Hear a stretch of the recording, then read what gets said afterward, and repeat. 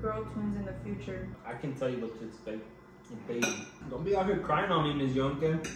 I get emotional. What is up, and welcome back to another one of Yonke's vlogs. It's your boy, Mr. Yonke, and, and the lovely, Miss Yonke. and we got a little Andresito. But today's video is gonna be kind of a stay-at-home video. As you can see, we're gonna be eating, so it's gonna be more like a mukbang uh, Q&A type of video. So, with that being said, let's just jump right into it with the first question. What is one big advice for recent married couples? Hmm. I don't know. What's one piece of advice you would give? Mm, never go to bed angry, ever. Try to like figure it out or resolve it before bed. Never go to bed angry.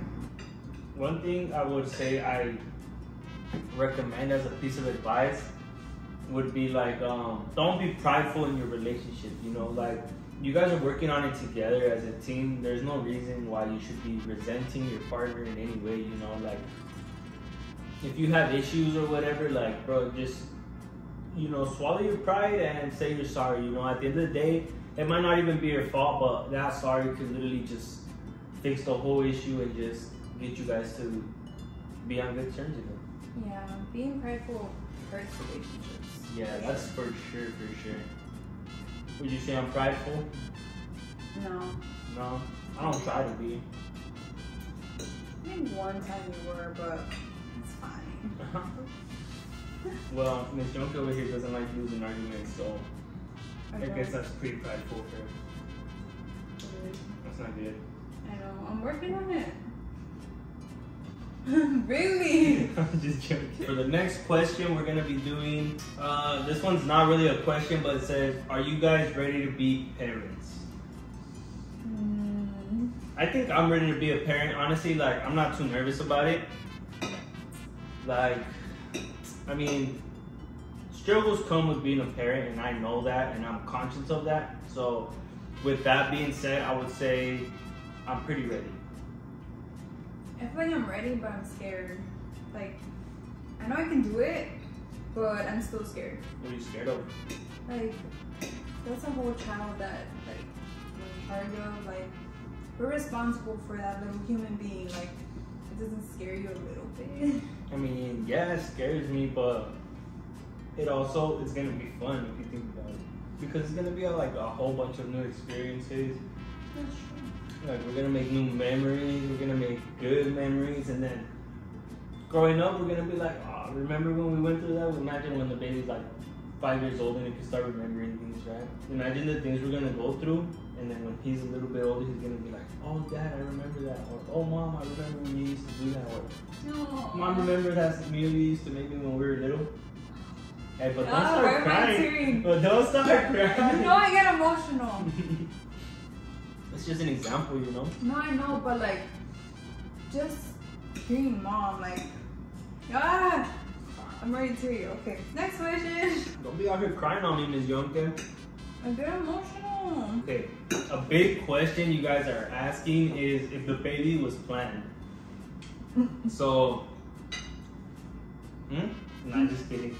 So the baby was planned in a way, but like you know, it wasn't really planned. Like we were, I guess we were trying to have a baby, but we were just letting it happen whenever it was gonna happen. Like, we were not saying like, okay, by this date, like if it happened in a year, if it happened in three months, it had, like whenever it happened, we were just gonna be cool with it. Yeah, we started like December. That's when we were like, we stopped being sick. Yes. That's how we pretty much planned it, I guess, because we didn't really. Well, we didn't really plan it. We pretty Yeah. much, mm, we let it happen on its own, but we just came to an agreement to let it happen. yeah, Yeah. Yeah? Alright. just came to that agreement. So it was planned and it was isn't like. But we were planned. we were starting to like wonder because it was like a bunch of months passing, nothing was happening. like six months. Yeah. yeah. We're like, maybe it's But not meant to be. honestly, yeah, we were just like it's not meant to be. You know, it's God's timing is gonna be perfect, and And it was. God's And timing was perfect. Bro, How many kids are you planning to have? wow. Hmm. So ready to meet baby Yonke. So ready. I don't know. How many kids do you want? Max, max, like the most I'll have is four, to be honest. Four? Yes. But I want to see how it is first. You know, I don't want to say, oh, I want X amount of kids without really knowing. I feel that. Because, Like I want a lot of kids, but everybody tells me like, wait till you have your first one. yeah, that's. And I don't know. I guess we'll have to see. yeah, because first we have to see what baby Yonke. But also, not every kid is the same. That's true, but we have to see how it is, how we are as parents, how the whole whole thing is. That's We'll why we don't really know. you stressing me out. Why do I stress you out? Cause I'm like, What are you? How? Why are you worried about being a parent? Why does that worry you, it doesn't worry me. Like I know I can do it. It's just it's a big thing. Like bro? We parent each other all day long, all the time. Think about it. Um, You look, you look after me. I look after you. That's basically what you're doing, except for little human. And we've been surviving. I eat every day. Do you? Well, yeah. Luckily, gracias a Dios, right? Also, baby is gonna be no different. You think having a husband is not a big responsibility? No, it is. But What if I get lost in the store? Huh, who am I supposed to call? What if I get lost in the store, my phone's dead, and I don't know where you parked? What do I do then? we came together. But maybe we're not shopping together. I don't know. It's just it's different from mom. I feel like. Why? I think what scares me the most is the birthing. The birthing part? hmm Well, right Like there. I don't know what to expect. Well, I can tell you what to expect. A baby. No much. I think four. Four? Four. I think- my number. For me, it would be maybe like four. Yeah. Max. I can't do more than four. Depending how the economy and everything is at that time, you know? How we're doing? know? hmm So this question says if we still have roommates, and we do not have roommates anymore. It's actually been a long time. It's been almost six months that we have not had roommates, and um, it's not that we got in an argument or anything like that. It's just that our roommates decided that they got a really good job opportunity in California, and we talked it over and we are like, yo, you know what, like, don't pass this up. You know, opportunities like this don't come often, so take it. Basically, they just gave us the house. Yeah. They they moved for an opportunity and well, we got left at the house. We got left with the house, but we're not really worried about it, you know, because we honestly enjoy like the the like living by ourselves part. Like it was something we had never really experienced because Like fully, fully. yeah, I mean we we've lived together on and off, you know, but like uh, we've had roommates this whole time, so it was definitely a new experience living just us two and honestly it feels good. It feels good when you're just independent in your own house, like makes you feel good about yourself, honestly. What do you think? It does. Like I feel like you have more intimate time. I guess. Like Mm-hmm. Mm-hmm. have more us time. Yeah, that's true because you know when you have roommates, it's a little hard because you have to be sharing everything. Mm-hmm. So like you can't really just be kicking it in the living room, you know, because or like maybe they'd be in the in the kitchen, or like we want to be in the kitchen, you know, but they're like probably watching a movie or something, and you know it's rude to be like, yo, can you guys get the fuck out? Like, nah, hell no, you guys have to share.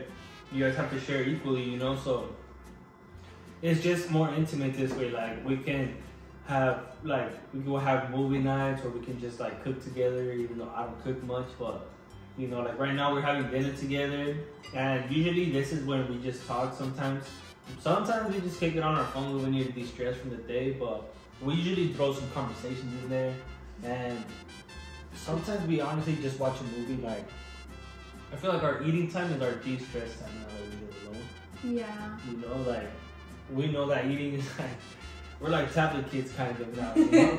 Like we'll sit down to eat, but like we'll be watching a movie.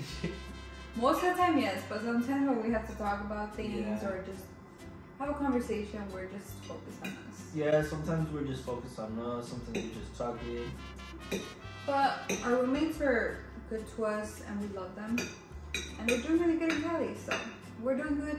They're doing good. It's really weird living without roommates now, though, It because it kind of feels in a way. We've been roommates for like two years, right? So you guys, so you grow a bond. Like technically, they're like they start feeling like your siblings in a way, you know.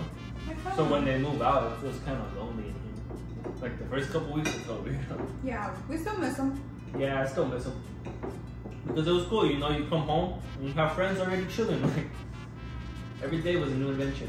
Now we have a new adventure. Now we have a new adventure. And it was so weird because they moved out, and then like a couple months later, we got pregnant. Pretty much. That was crazy. Wait, we didn't even tell you what we're eating. Oh, oops. well, this was like a little casserole. What would you call this? It's like baked potato Yeah. casserole. With beef. I just made it up Mm, as I went. Pretty good. I do. This is not a question, but I picture you with girl twins in the future. What? Imagine two little girls Oh, and a little boy. God damn. God damn.